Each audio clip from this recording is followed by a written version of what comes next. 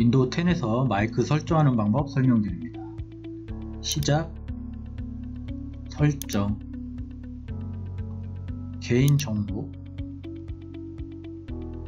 마이크를 선택 후 앱에서 마이크에 액세스하도록 켬이 되어 있는지 보고 안 되어 있으면 클릭해서 켬으로 바꿉니다.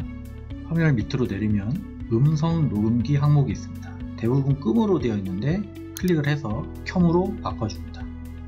왼쪽 위에 홈 버튼 누르고 시스템, 소리, 사운드 제어판을 클릭 후 녹음 탭을 클릭한 다음 마이크를 더블 클릭합니다.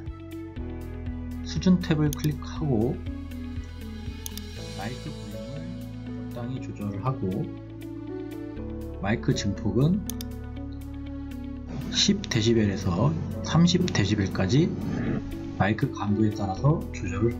우선 10dB로 해보겠습니다. 검색 창이 있으면 검색 창을 클릭하고 안 나오면 시작 버튼을 마우스 오른쪽 버튼 누르고 검색을 클릭하면 검색창이 나옵니다. 검색창에 녹음기라고 입력을 하고 음성 녹음기 항목을 클릭하고 파란색 마이크가 나오면 클릭을 하면 녹음이 시작됩니다. 녹음이 되면 원이 바깥으로 퍼집니다. 소리가 안 들어가면 반응이 없습니다. 지금은 녹음되고 있습니다. 네모 버튼을 누르면 저장이 됩니다. 자, 플레이 버튼을 누르면 조금 전에 저장됐던 음성을 들을 수 있습니다.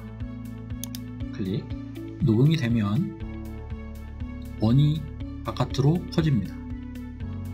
소리가 안 들어가면 반응이 없습니다.